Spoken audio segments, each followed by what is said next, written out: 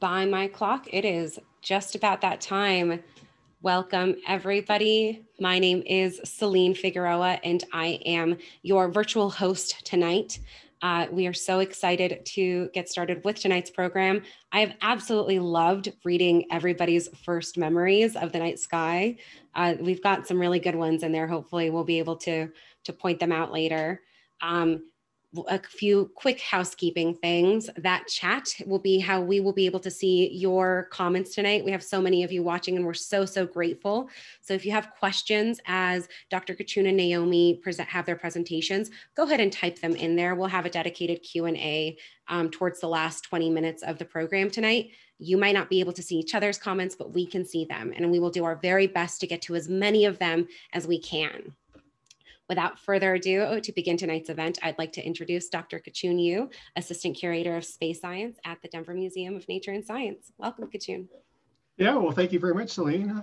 Um, welcome everyone to 60 Minutes in Space. Uh, this is a monthly program uh, from the Denver Museum of Nature and Science. And for those of you who um, haven't um, seen this uh, before, what we do is we cover um, some of the uh, biggest news stories from uh, this past month. And uh, we did skip um, December, and uh, so you actually might uh, be hearing stories um, from December as well. And I am an astronomer by training, so I typically like to cover stories that take place outside of our solar system. And um, I also want to um, introduce Naomi Pequette, who uh, you just saw, um, and uh, she will be covering the second half of our uh, presentation um, tonight. And uh, before I get started, you know, feel free to um, throw in uh, any questions you that you have into the chat, and Celine will be uh, gathering gathering those, and she'll be selecting questions um, at the end and um, when we do our Q and A. And so with that, I'm going to get started. and my first story um, actually has to do with uh, this particular um, news article. I actually, there were lots of um, news articles that came out, but uh, this is from the New York Times. Um, and it's uh, a great title for uh, a, a, news story about this um, scientific paper, Six Stars, Six Eclipses. The fact that ex it exists blows my mind. I think any scientist would love to um, have a um, news story um, where you know, you, are quoted um, about um, the, the scientific result being so amazing that it blows uh, people's minds. And basically, uh, this is a discovery of a six-star system. And you know, in our solar system, uh, our, we have only a single sun, but in fact, um, at least half of the stars that we see out in the sky are actually multiple stars, uh, typically binaries, but sometimes you'll find you'll find triple systems and uh, quadruple systems, or even rarer. But uh, the rarest um, or the, uh, the um, six um, star systems or the sextuples. And uh, here is the title of the paper. So this is kind of an impressive title. There are 51 authors uh, representing uh, about 40 different institutions. So there are a lot of astronomers involved. And I want to point out the, uh, the, the title. So the first part is just the name of the star, that complicated alphanumeric um, set of symbols. But then the second part of the title is sextuply eclipsing sextuple star system. So, you know, this sounds vaguely um, double entendre-ish. Um, actually, it sounds like a double double entendre. So what, what um, do we mean by a sextuply eclipsing sextuple star system? Well, a sextuple system is a six uh, star system, as I said, but a sextuply eclipsing, uh, what that means is that um, each of these stars are um, eclipsing each other. So this is a system where the stars uh, the or are orbiting in such a way that they're lined up, the orbits are lined up so that they have a chance to block each other as they're orbiting. So there, um, you know, this is a, a, pretty rare scenario, but um, but there are um, other six-star systems out there, and you might have even heard of um, some of them. So uh, one of, oh, let's see, one of them is, um, actually, before I go into that, this is um, what the system looks like. Um, so you, um, the, the way astronomers assign names to, uh, to star systems with multiple stars is they, um, it's not very imaginative, but they just call them A, B, and C. But in this case, uh, the A uh, system uh, is uh, the one um, off to the upper left. Um, and then there's also C system that um, is just below it. And then the B system is off to the, um, to the right. And, uh, but each of these um, stars, A, B, and C, uh, is in fact uh, another binary. So instead of uh, three stars orbiting each other, uh, each of those three are in fact another uh, pair of stars. And this um, tells you um, how fast they orbit around each other. So the A system, those pair of stars orbits in just over a day. The C system orbits in about a day and a half. The B system, those two stars orbit just over a week. And then um, the A, uh, the A and C systems orbit each other uh, every four years, and uh, the biggest orbit are between the A and system and C system stars and the B system, and they orbit every 2,000 years or so. And um, and here are the results of the paper. So um, we we sort of look at um, this is uh, breaking up the A, B, and C um, binary pairs, but the authors of the paper have also um, figured out how massive the stars are. So uh, the primary star, the, the, main, the, the heaviest star in each binary is just over a, a, one and a quarter solar masses, so about one and a quarter times the mass of our sun, whereas the smaller uh, pair of, of, the pairs are between about 0.5 and 0.6 um, solar masses. And this, um, this six um, star system is about 1900 light years away. So it's pretty far. Now, um, there are stars um, that are um, sextuples that you have probably heard of. One of them is Castor, uh, which is in the pair of stars, the brightest stars in the constellation of Gemini, which is uh, visible um, during the winter. so, you know, right about now. And, um, and Castor is in fact a um, six star system. Um, Castor um, is only about 50 light years away, but um, it has an A, B, and C pair. Um, and uh, an astronomer named William Herschel realized that A and B were two separate stars, but uh, the C wasn't identified until decades later. Uh, but the um, the orbital period for um, the C going around A and B is at least 10,000 years. So this is definitely a much bigger system. And um, this these set of six stars aren't all aligned um, so that they um, eclipse each other, but um, they do. Um, but the, the binaries are definitely orbiting each other. Now, how the the new star was found was actually found by a satellite called TESS, which stands for Transiting Exoplanet Survey Satellite. And TESS was actually launched to find planets. And um, what it does is it stares at a portion of the sky for about 14 days at a time. And if a, um, a star beyond our sun has a planet that orbits it, uh, where its orbit lines up so that the uh, planet crosses the star, the starlight drops by a fraction of, of, of, of an amount. And so by watching stars for uh, long periods of time, you know, two, two weeks at a time, and, and mapping or uh, and seeing these dips in the starlight, you can find planets. Now, TESS um, is planning to look at most of the sky. So um, I, I, believe over 90% um, of the sky. And so it doesn't stay on a particular patch uh, or a sector for very long, and that limits um, how much data you can gather. Now, instead of planets, let's say you're looking at a pair of binary stars. And uh, so we have at the, um, at the top a graphic of those two um, stars um, orbiting each other. And at the bottom, we have a plot of the star's brightness. Uh, this is a plot um, astronomers call a light curve. And so uh, because these two stars are of different sizes and they are of different brightnesses, depending on whether the bigger star passes in front of the um, smaller star or the smaller star passes in front of the bigger star, different amounts of light is blocked. And so you get different amounts of um, uh, changes in the brightness of, um, of what you're, uh, you're observing.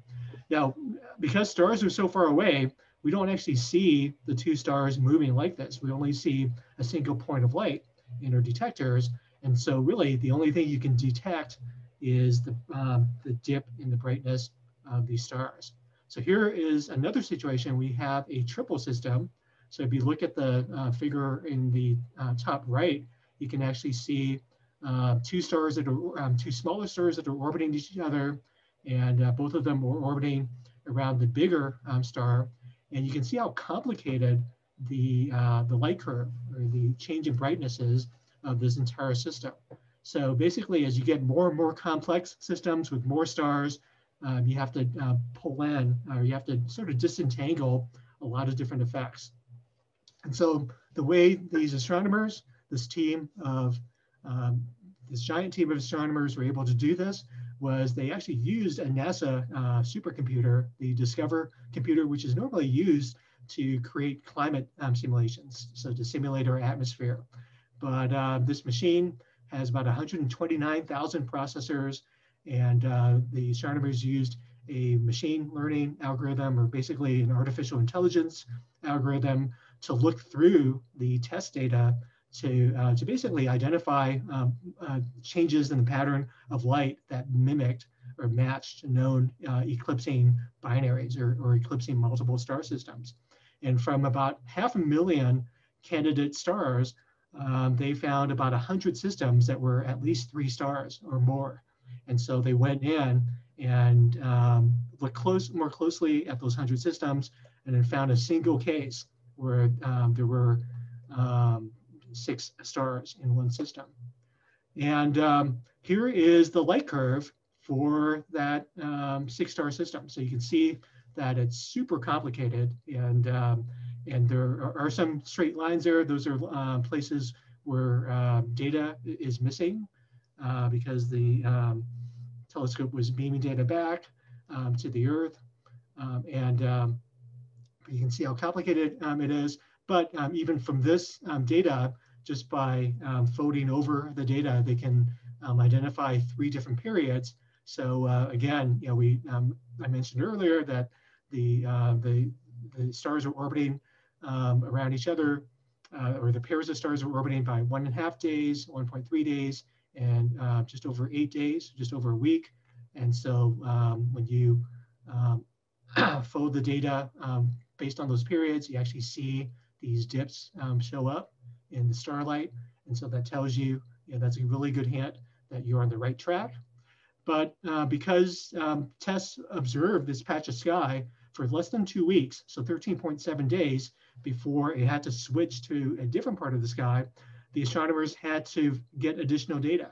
And so um, what they did was they looked, um, got additional uh, telescope time. And so this plot is uh, basically a plot over time, and it shows all the data that they gathered.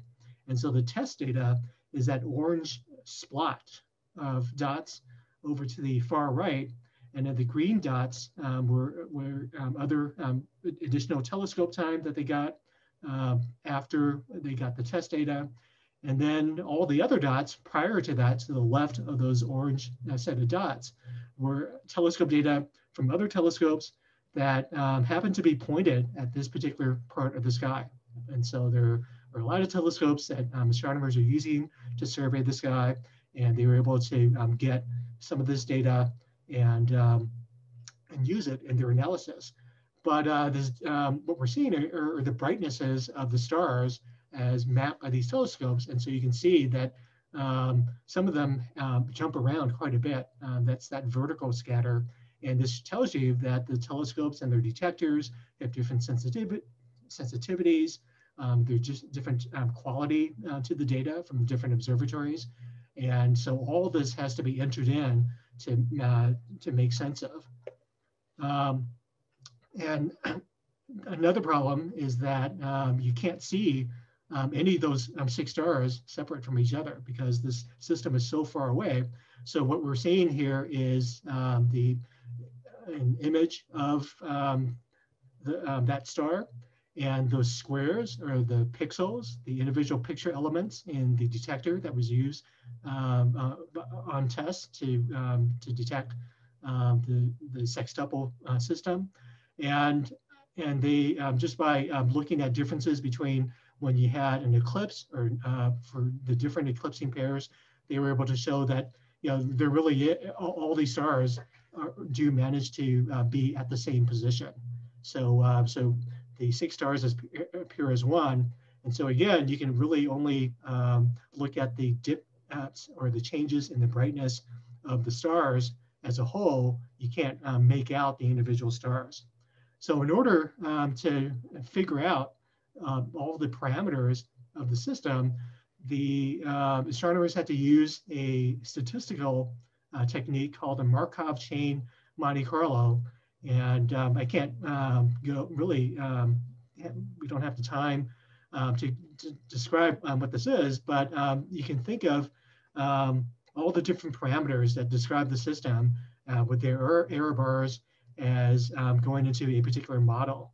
And so as you run this model, you're trying to minimize the amount of errors. And so um, you kind of um, randomly um, walk your way as you run the model more and more times until you get um, a result that um, makes the most sense statistically speaking or have the fewest um, errors. And so that's what they did.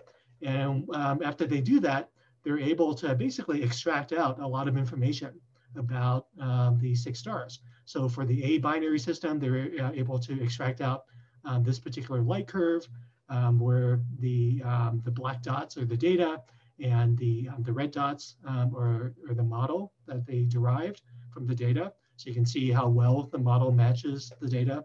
And similarly for the B binary system, they were able to extract out a model that matches the data really well. For the C binary system, um, it's not as tight of a match, but you, know, you can definitely see that the light curve uh, matches pretty well.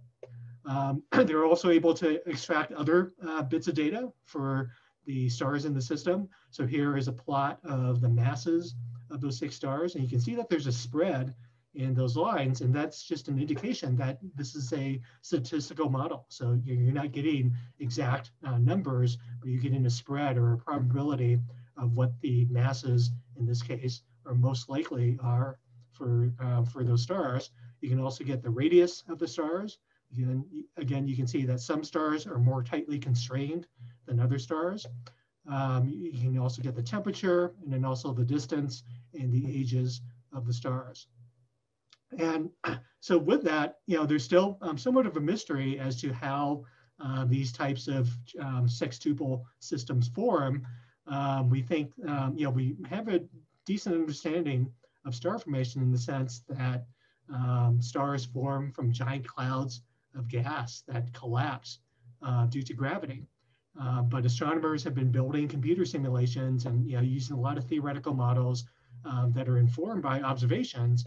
And one of them is this model um, from uh, Matthew Bate. And what you're seeing is a molecular cloud and it's slowly collapsing. Those, so those two reddish blobs are collapsing inwards and they will form a pair of stars. And then one of the stars is actually going to split off to form a binary. So right there, you can see a star um, splitting off. So this is a scenario where from uh, this particular model um, simulation, this computer simulation, you can actually see how um, gas flowing in um, as and that gas is pulled in by gravity and it accretes onto those central stars. Um, the uh, the accreting gas can actually, in some cases, split up to form a binary. And so here are just some, some frames from that simulation where you have those two stars um, that originally uh, broke apart uh, that formed from the collapsing cloud. Um, so gas is still flowing along those spiral arms um, into an accretion disk onto those stars. And um, as the stars orbit each other, uh, part of that spiral arm of flowing gas gets compressed. And that um, compression, due to the gravitational interactions of the two stars, can actually um, cause part of that gas to collapse to form um, uh, a binary. So out of um, an initial binary, now you have another binary forming out of one of those stars. And so you can imagine uh, scenarios where you know this can happen where uh, in a sextuple case, instead of a pair of um, stars forming during the core collapse, there are three stars that form. And then if you're really lucky, each of those three stars um, also um, based on you know, the gravitational interactions, they um, collapse and split off to form a binary out of each of those. And so that's uh, a scenario in which you can get a uh, six stars coming out of one molecular core. All right, so with that, that is our, um, oh, and then here's the final frame of the animation. Um, that's my uh, first uh, big um, astronomy uh, story. And uh, my second and last story before I turn it over to Naomi is I just wanted to uh, talk briefly about the Great Jupiter-Saturn conjunction, which you probably heard a lot about um, last month. Um, in December, you know, there was a Google Doodle um, showing uh, the Saturn and Jupiter conjunction. And um, yeah, these conjunctions actually um, occur every um, 20 years or so. And it, uh, this one just happens to be you know, the best one uh, out of um, the last several hundred years, you know, at least 400, some people say the last 800 years. And basically a conjunction is when, in this case, Jupiter and Saturn, in, you know, they, they're widely separated in their orbits, but from, from their location, uh, from Earth, they appear uh, to line up in space. And so uh, here is how they look on December 21st, uh, which is when uh, they got closest to each other. And if we zoom back out to uh, show the view um, from out of the plane of the solar system, what I'm going to do now is we're going to actually go backwards in time and, and see um, what the last conjunction 20 years ago, back in the year 2000, looked like. And so we're going to run this backwards. And what you'll see is that the planets actually orbit at different rates. And so the Earth orbits much faster, Jupiter uh, slower still, and Saturn slow, even slower still. And so, you know, these conjunctions don't take place um, every um, once, you know, of our Earth years or once a Jupiter orbit, but it's a uh, geometric um, combination of um, the uh, orbits of Jupiter and Saturn. And in this case, back in May uh, of 2000, um, you know, that was the last conjunction of Jupiter and Saturn. But as you'll see, uh, the two planets weren't as close. And that's just because the, uh, the, uh, the planes of the uh, orbits are all tilted. So Saturn and Jupiter are tilted by about a degree from each other. And, um, and in this case, um, they were also um, way too close to the sun. So it was really difficult to, uh, to really see anything. And um, here, I'm going to zoom out and we can see the orbits tilted with respect to each other. So basically, this tells you that, you know, even though these conjunctions take place every 20 years, they might have different, um, uh, know, they might not be deemed as great conjunctions. They, um, they don't get as close as they could be and hopefully uh, many of you were able to get out and um, and, and um, see these conjunctions. You know, if you saw them, you can post into the chat what you thought of it and, and where you saw them. But um, if you go onto Facebook or other social media, you can find lots of people uh, posting pictures. And what's great about this particular conjunction is that it was visible um, from the Northern hemisphere. So really, uh, there were uh, lots of pictures posted from around the world um, a lot of Indian uh, astro uh, uh, amateur astronomers who took astrophotography. So here you can see um, appear, um, this is actually a couple days before the closest approach where the moon was also uh, visible uh, close to Jupiter and Saturn. Here is a picture from Portugal and uh, from, from Lisbon where you're seeing the harbor in Lisbon. And what's really nice about this picture is that there's nothing else in the sky except for Jupiter and Saturn off to the uh, near the top and the right of the picture. Um, here's one taken uh, by my friend Henry, Henry Throop, um, who uh, lives in Washington, D.C. He's a planetary scientist who works on the New, New Horizons mission that flew by Pluto, but he's um, a great photographer. So he took this um, with uh, Saturn and Jupiter next to the uh, National Cathedral in Washington, D.C. And this is also another picture of his um, taken uh, in DC next to some um, radio um, antennae. Um, and, um, and if you look really closely, you'll see that there are a couple moons on either side of Jupiter, which is the brighter spot off to the left. Um, here's another great shot from India. And again, this took a lot of coordination you know, to get the person and the rock uh, face um, or the, the hill that he's on um, set up. And again, you can see some of the moons uh, on either side of Jupiter. Um, and here's a close-up of that, uh, pointing out which moons, uh, which of the Galilean moons are visible. Here is a great shot um, from um, Tom Polakis in Arizona. And, um, and here um, he's exposed the shot in such a way that you can really see the banding of the, uh, the atmosphere on uh, Jupiter and Saturn. And you can also see one of the moons, I believe that's uh, Ganymede to the right of Jupiter. And then here um, is one case where they overexposed the planets, but uh, then uh, made the moons stand out um, a lot better. And in this case, you can see um, two of um, Saturn's moons, Titan and Tethys. And then finally, I will end with uh, this last one, which is a great shot where you're seeing the banding on the planets as well as the, the moons. And this one is from the United Arab Emirates. So, you know, uh, these are great pictures and uh, goes to show you that astronomy is, um, you know, is greatly loved by people from all around the world. And with that, I'm gonna turn it over to Naomi. All right, thank you, Kachun. Um, so I'm going to continue with some stories coming from this month, uh, focusing more on our solar system and then even closer to Earth here. So we'll get this up on my screen. So the first story I want to talk about are two of our favorite missions from NASA, Juno and InSight. We got great news this month that both missions have been extended for funding. So let's take a look quickly at those two missions. So Juno is uh, has been orbiting uh, Jupiter for several years now.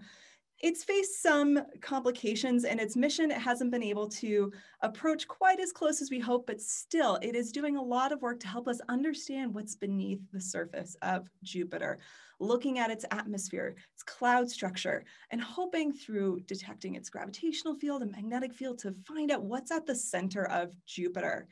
Um, in fact, its name is rooted in mythology, Juno being the wife of Zeus or Jupiter, um, and is said to be the only one who could see beneath his cloud. So got that name there.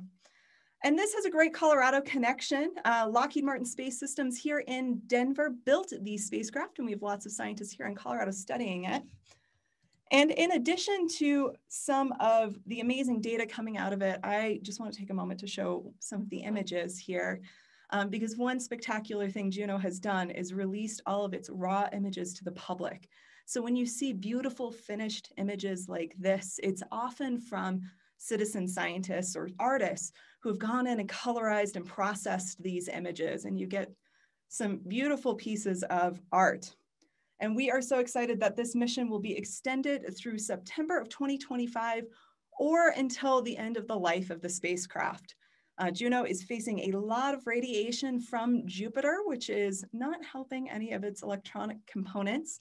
Uh, so hopefully it will last till that 2025 date because they are hoping to expand its search of the Jupiter system and its study of the Jupiter system um, to fly by some of the larger Jovian moons. So Ganymede, which is our largest moon in our solar system, Europa, which of course is this beautiful ice moon with potential for a liquid water underneath the surface, and Io, which is highly volcanic. So here's hoping we will see even more from Juno. The other mission is a little closer to home. That is the InSight lander, which is studying Mars at the moment.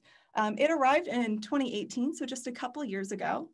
And over the last two years, it has been looking at a similar type mission to Juno, and that it's trying to figure out what's at the center of Mars. What is that core? Is it still liquid, molten? Do we have an active planet? Is Mars more of a dead planet like we thought it was?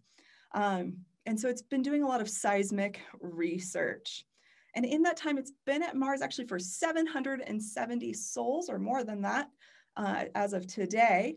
Um, Sol being a Martian day and taken over 5,000 images, which is really incredible. And this mission has been extended for another two years, so until December of 2022. And the goal of that is really to build a longer data set for those seismic activities. Uh, so one of its instruments, SEIS, has been identifying and detecting Mars quakes. And by looking at how those vibrations travel through Mars, we can learn a lot about what's beneath the surface. And we'd love to see a bigger data set for that. But it'll also continue its operation of its Mars weather station. So if you think it's chilly in Colorado today, feel warmer by checking out the weather on Mars. The high was 10 degrees today and a low of negative 101. So I already feel toastier with our snowy weather today. Unfortunately, however, one of the instruments will not be continuing on, and that is the mole. No, not a real mole, a robotic mole. Okay, really, this was just an excuse to use this oatmeal cartoon again. Um, but the mole is one of the big instruments for uh, InSight, and that is actually its heat probe, or HP3. And so the goal of this heat probe was to hammer down about, oops, and I apologize, that video is not going, there we go. Hammer down about 16 feet into the surface. And so you can see this uh, video here showing how this was worked. This was designed by the German Aerospace Center. And by forcing that uh, kind of pointed probe downward, we would take measurements of the temperature on several points on the way down. And it would also drag with it this temperature sensitive uh, ribbon, if you will, that allowed us to take temperature at multiple points through the way down. And to be successful, to get us information, it really needed to go about 10 feet below the surface. And this is so much deeper than any sort of uh, lander or rover had been able to do before. Um, unfortunately, as of just a few days ago, they've called it quits on this particular instrument. And the reason for that is the regolith on Mars is not at all what we expected it to be like at this location. It actually has this tendency to be able to clump and it doesn't provide enough friction for that hammering motion to be successful. So they've only been able to get this down about two to three centimeters. And they've been trying all sorts of different techniques uh, like using the scoop on this rover to be able to push down on that hammer, hoping it would go deeper. Um, this scoop actually wasn't part of the mission. It was there on the spacecraft because it was a backup spacecraft for the Phoenix lander, but the scoop didn't have a purpose for this mission, um, but was a really helpful tool in trying to make this heat probe or mole successful. But not all is lost. Um, we still learned a lot. First of all, scientists are going to be puzzling over the difference in this regolith here or the soil here than what we saw at other Mars locations because this instrument was designed based on data we had from previous missions. So what's going on with the, the regolith or the soil in this location? But scientists have also gotten experience using the scoop um, and engineers, which is really important because they are actually going to use this scoop to bury a ribbon that is connecting the seismometer to the spacecraft. So it's a ribbon similar to what you're seeing right here that transports the data back from that seismometer to the spacecraft. And because of temperature fluctuations, they've actually been seeing a lot of popping and crackling uh, in the data. And they hope by covering it, they'll actually get better data. So Unfortunately, part of our mission not successful, but still getting a lot of really great information from InSight. And here's till December 2022, where we can learn even more.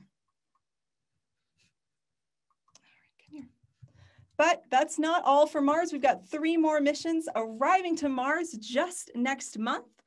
The first of this is actually from the United Arab Emirates. Uh, this is their HOPE mission, their first mission to Mars, which will arrive on February 9th. It is an orbiter that's designed to study the uh, planet-wide atmospheric dynamics and weather on Mars. And this has a really cool Colorado connection. Uh, this spacecraft was actually mostly built and tested up in Boulder at the Laboratory for Atmospheric and Space Physics. The United Arab Emirates partnered with LASP to develop the spacecraft very, very rapidly in only six years, which I know it sounds like a long time, but this is really fast for spacecraft development, I promise you. Um, and it was this amazing collaboration. So cheers to our colleagues up at LASP and at, at the UAE for sending their first mission to Mars. And then the next mission is actually a Chinese mission. It is really ambitious. This is China's first mission to Mars, and they are sending not just an orbiter, not just a rover, but both, uh, which for a first mission is, is incredible. This is called the Tianwen uh, 1 mission, which means questioning the heavens. And the orbiter will be searching for possible pockets of water uh, below the surface of Mars. So you may remember a couple of years ago, there was a headline that came out that a European orbiter on Mars used radar, so uh, actually radio waves bouncing back and studying how they bounce back and found mud or possible liquid water beneath the surface. So we're really excited to have another instrument at Mars that'll be able to do similar work and hopefully verify some of that data. And then they're also going to send a rover. Now, the rover won't be landing on Mars until May. Uh, this is arriving just a day after the UAE mission. So they'll be spending a few months kind of scoping out the landscape, but it's expected that the rover will land in Utopia Planitia, which is in the northern part of the hemisphere of Mars that may have some subsurface ice. And that is exactly what that rover is going to be looking for and studying. And then, of course, the big one, uh, we are so excited to celebrate at DMNS with several events coming up. Um, as I think Celine just mentioned in the comments, there is the Perseverance rover and Ingenuity spacecraft. Perseverance and Ingenuity are following NASA's directive of follow the water. So they're landing in Jezero crater, which is thought to have been covered in liquid water um, and maybe home to an ancient river delta. This will arrive on February 18th. Um, so keep an eye out on our website. Uh, we just, I think, linked that in our comments to see what events we've got going on that day, as well as after uh, for school groups as well. But this one is another first. This is the first time we've ever tried to fly a spacecraft on Mars with the Ingenuity helicopter.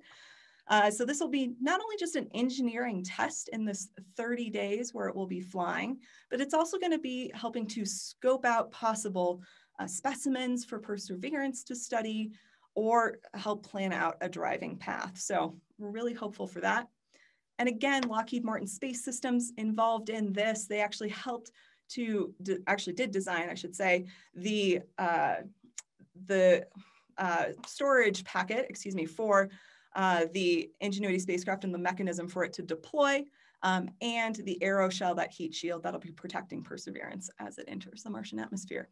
So keep an eye out for all sorts of fun events as we celebrate Perseverance on the day of landing and beyond. And if you're in the new Space Odyssey, we have little helicopters we're flying on our simulated Mars mission talking about some of that science as well. Now, I want to take a totally different focus. Um, one of my favorite topics is a topic called archaeoastronomy, or the astronomy of ancient cultures, how they interacted with the night sky and how they left that reflected in the items they left behind from artifacts to entire cities or ceremonial centers aligned to the sky like Chaco Canyon. And this has been top of mind because we cover this in our Keepers of Knowledge Interactive in Space Odyssey Reimagined. And a couple of papers came out this month around this item here called the Nebra Sky Disk. This is in Germany in a museum right now, and it is thought to be the oldest accurate depiction of the night sky. So first of all, you've got that beautiful blue kind of green patina all over the bronze with these different objects that are covered in gold leaf. So let's take a look at some of those symbols first, then we'll get to the controversy, the two papers firing back at one another. So first of all, we have the crescent moon, it's a lot of cultures around the world use this as a timekeeper, a way to mark the passage of time. So it's not unreasonable. A society in Bronze Age Germany would have not done the same. We also have this circle here. It's debated whether this is a full moon or the sun, but the sun makes a lot of sense symbolically. It is a giver of life. It brings life to the plants and the crops. And when you tie it with some other things that we have in this item, that connection seems to make a little bit of sense. You have 23 different spots kind of scattered throughout this disk, which we think represent stars. You can debate constellations, whether they're there or not. but they're pretty certain that this grouping of stars is actually an object we can see in our night sky right now, and that's the Pleiades star cluster or the Seven Sisters. And we know the ancient Greeks used this uh, to mark harvesting times. It first appears in October when you would be harvesting and disappears in March from the sky when you would be planting. So it makes sense that this would have been maybe something marking an agrarian calendar. And we see this in other Bronze Age cultures um, in the world. So amazing to have these accurate depictions. There's a couple other symbols in there as well. Uh, we see these gold arcs. And so on the right, we think that probably marks the horizon. There might have been another one on the left. This was added after the fact. You can get into debates whether there's some cool angles that happen that mark sunrises and sunsets for solstices or not. But then you see that arc at the bottom. And what we think that represents is actually a uh, a sun chariot of sorts. And we found this symbol in Bronze Age Scandinavia. But originally, we see this more in ancient Egypt, where the sun god Ra was said to take this kind of boat through the nighttime and be reborn at sunrise. So, really amazing uh, symbolism happening here. So, amazing object, lots of emotional attachment to this, especially in Germany where it was found. So where is that controversy? Well, the controversy comes from its age. And the reason we don't really know its age is because of how it was found. Archaeologists, when they unearth a, an object, take as much context from around it as they can. Well, this was actually found by looters in 1999. They were out uh, on a site outside of Nebra, Germany, on a hillside using a metal detector to try and find artifacts they could sell to archaeologists to try and get some money.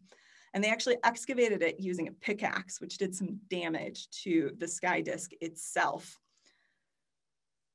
So it took the sting of police working with archaeologists to be able to get this object, as well as the objects it was found with back in the possession of the state because this was illegal in Germany. You need a permit to be able to excavate artifacts like this.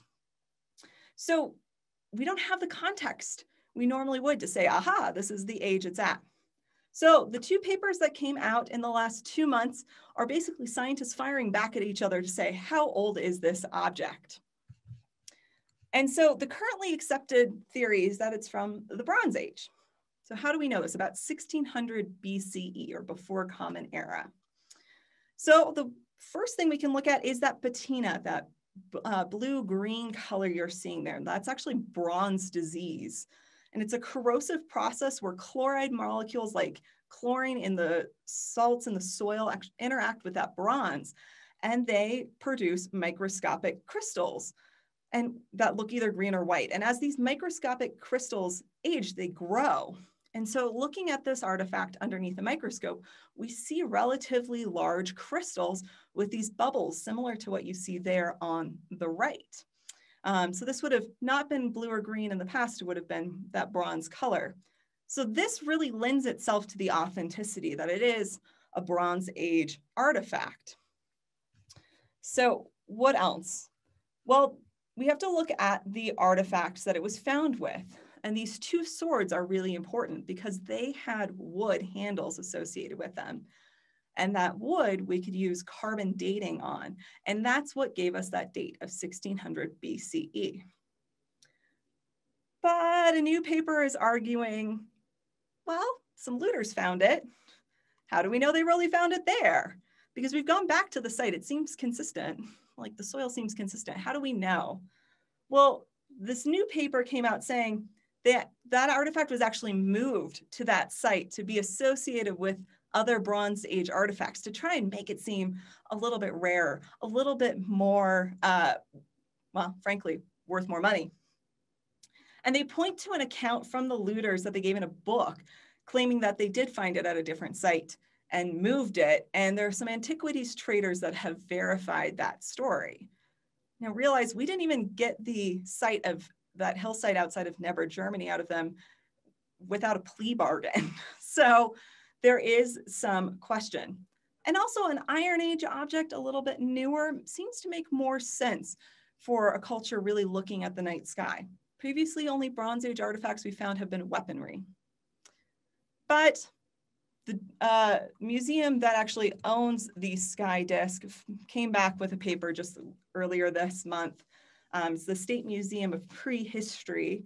And the director wrote another paper saying, look, you're forgetting a lot of this evidence. Don't forget the bronze disease.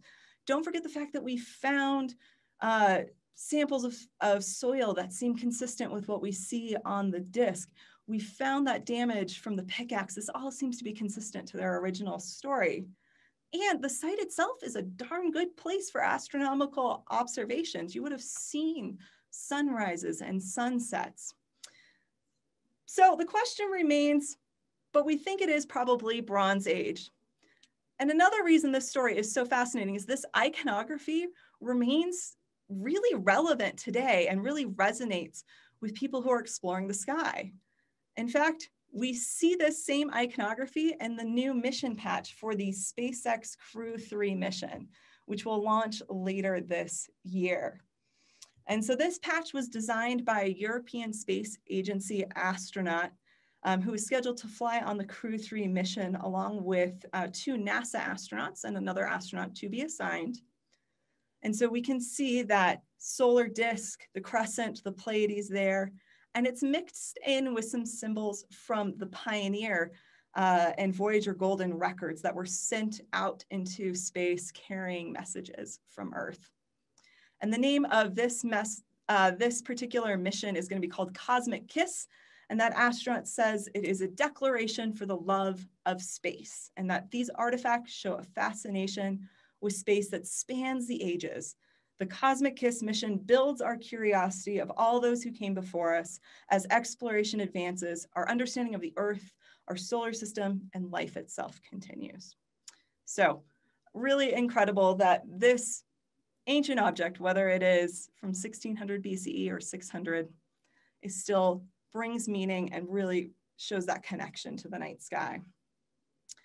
So to end, I just want to highlight a couple more things coming up this year as we're in the new year. We, of course, Perseverance coming up next month, but then we have two crewed launches in, well, two human-based missions coming up in May. SpaceX's Crew 2 Dragon mission is uh, launching on March 31st. That'll be carrying two NASA astronauts, an astronaut from JAXA, which is the Japanese Space Agency, and one astronaut from the European Space Agency.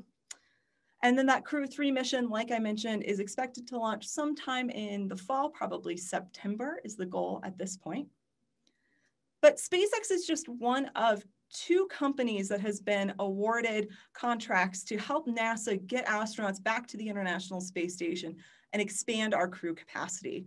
The other one is Boeing, um, and they are working with their Starliner capsule. Now, the Starliner capsule had an uncrewed test, OFT-1, uh, which was unsuccessful. It did not dock with the International Space Station, likely due to some software failure. OFT2 is scheduled to happen in March. They have passed software reviews by NASA. They're very excited and expected to be able to dock with the International Space Station. And if that is successful, they'll be able to send a crew mission up, hopefully later this year, potentially as early as summer 2021. So lots more coming in the world of space sciences here. And with that, I think I will leave the remainder of our time for Q&A. Wonderful. We can have Kachun join us for this portion as well. Let me put us in gallery view. Um, so we've got about 12 minutes left for Q&A and I do want to say we've had some amazing questions come through and I will not be able to get to all of them. So I'm going to do my best to go through themes for everything. Um, so the first one, Naomi, it will go straight off after that sun disk. People are wondering what the difference between uh, the process of dating uh, an object like that and dating something like art. Um, can it be restored in the same way? Can it be carbon dated? What does that look like? So yeah, they were able to carbon date the wood that came with that sword, but unfortunately you can't carbon date bronze. It just, you're just not able to. And so we have to look at other clues like that bronze disease potentially. Um, but a big part of archaeology is learning about the context. We're extraordinarily methodical about how artifacts are dug up, you know, marking every layer, creating a very strategic grid to find the context and be able to get clues from that environment. And unfortunately, a big part of the controversy and the the questioning around this desk is we just don't have that. Archaeologists have gone back to that site, but it's not the same as unearthing that artifact in context. Well, uh, a few folks in the chat said that you did a fantastic job at explaining that debate, that back and forth, and I I like that this is the drama that happens in the science community. It's trying to to to pinpoint the date of cool things like that. It's kind of fun to see those scientific rivalries. I'll never forget a supervisor I had in college who literally jumped for joy when we were proved a, a rival wrong with some basic mathematics. and the best part about these types of rivalries is that everybody comes with receipts. You come with evidence and you back everything up. Exactly. So I love it. Kachun, speaking of uh, coming with receipts and evidence, um, we had a few people wonder about the sextuple systems. Um, is there any possibility that there could be planets? Can other systems like this actually have it? And is there any evidence that says that the one that we were just talking about in your fantastic presentation has any? Yeah, um, so right now they don't know um, if planets um, are in the system, but um, it's probably unlikely. Um, and uh, I'll, I'll show the slide. And I apologize for covering up uh, too much of the earlier slides. I was taking up too much uh, of the center part of my screen. But um, so here is uh, that, um, so this is not to scale in the sense that, um, you know, these orbits aren't to scale. Um, the stars, uh, the sizes of the stars are to scale, but um, their distances from each other are not. But if you look at the, uh, the, the binary pairs, you know, um, the A uh, pair of stars orbits in 1.3 days, the C pair of stars orbits in 1.6 days, and the B uh, pair of stars orbits in 8.2 days.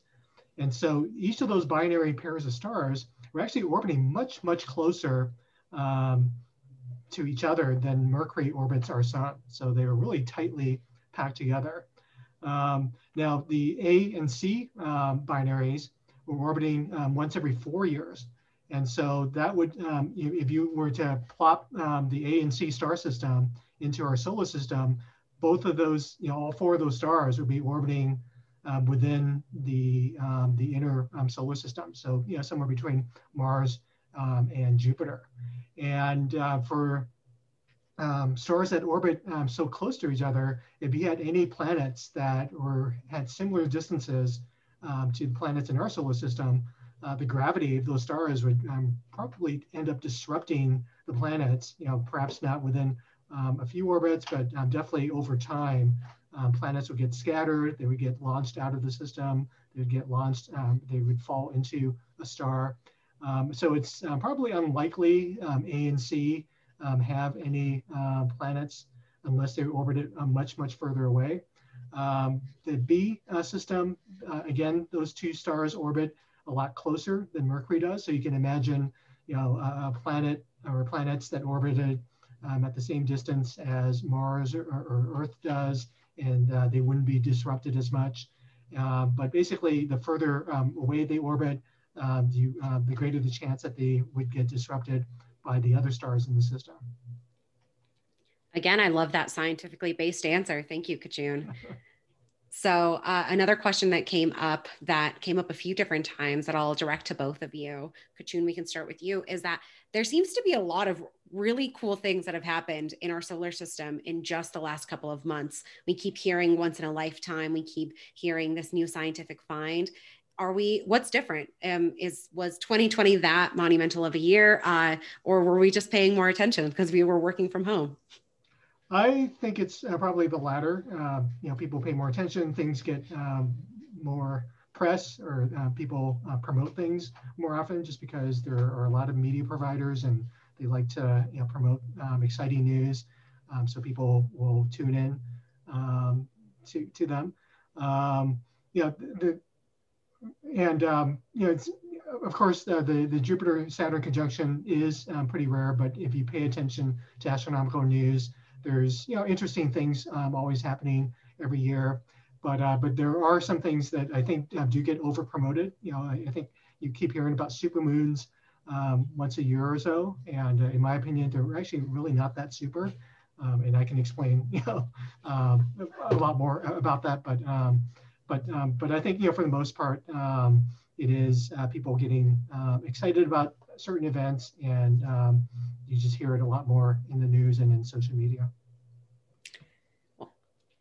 And Go ahead, Naomi. I would also add to that, you know, the world of astronomy is really rapidly evolving. We are entering an era that I like to call big data astronomy, that we just are doing these huge surveys of the sky. We're gathering so much more data at higher and higher resolution. And our technology is constantly advancing, allowing us to make these really amazing discoveries that might not have been technologically possible in previous years. Um, but yes, there are a lot more people working at home processing data.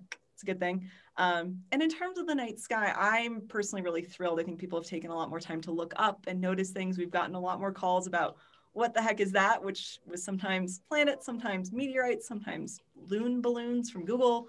Um, but people are, are reconnecting with the night sky, which I think is really exciting. I love that. And for those of us that want to continue to stay informed about the happenings in the solar system, do either of you have any sites that you recommend for us to keep of course, 60 Minutes in Space will always be your first stop. But in between our program, any recommendations on where to look? Yeah, I think uh, um, you know NASA sites are always um, really good. If you just do um, you know a search, um, a Google search, and, and you look for um, sites um, that are associated with NASA, they have the NASA.gov URL. You can uh, be pretty sure that they're reliable and that you know they do a good job of vetting all their news so that it's accurate.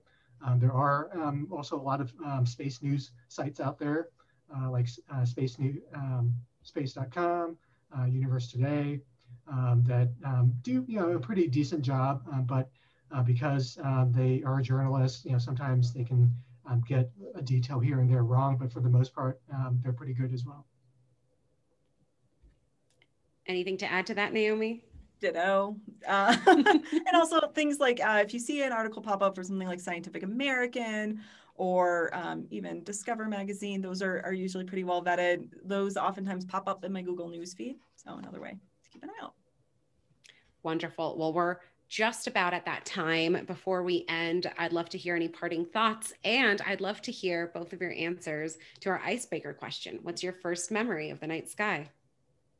Naomi, do you want to start us off? Uh, my first memory of the night sky, I grew up in the mountains of Colorado in Georgetown, and we had a window over our kitchen sink that looked over the town of Georgetown, which is kind of in a valley, and had us watch a night sky. And I remember seeing something really bright and asking my dad about it, and him telling me it wasn't a star, it's actually a planet called Venus. Um, and so just having this kind of mind bending experience that a, only a six or seven year old can of like, there's different distances in space. What? You can study more than just counting the stars?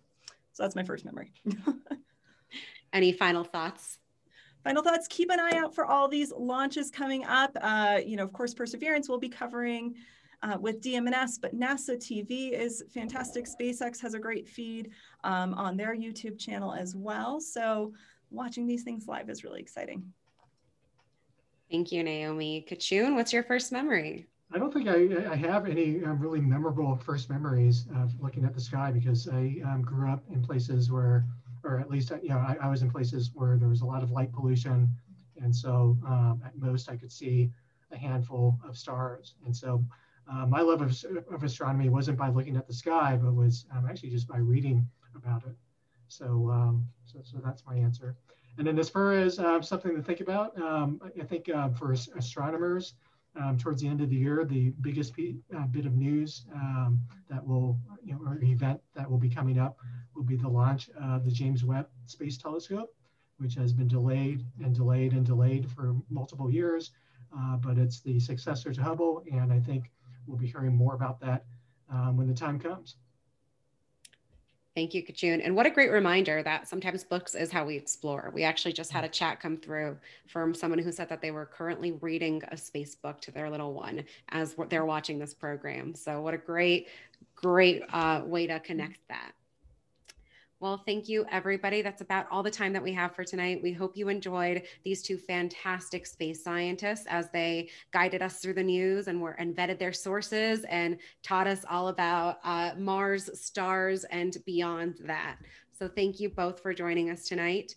We will hopefully see you all um, for on February 24th for our next 60 minutes in space. And of course, the museum is always doing fun things. Take a look at our website to see what we're doing for that Perseverance uh, landing. We will do that live. We don't have the event up on the website quite yet, so keep an eye out on our socials. I think it's going to be both on our Facebook and YouTube. So we'll have a whole event for you all. Thank you so much for joining us. Have a great night. Good night, everyone. Night all.